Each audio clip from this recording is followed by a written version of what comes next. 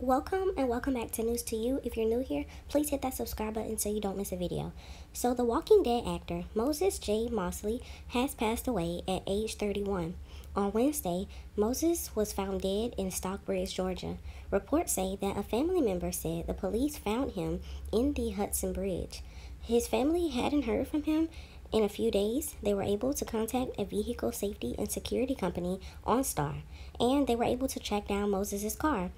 He passed away from an apparent gunshot wound. Police are working to see if it was suicide or not.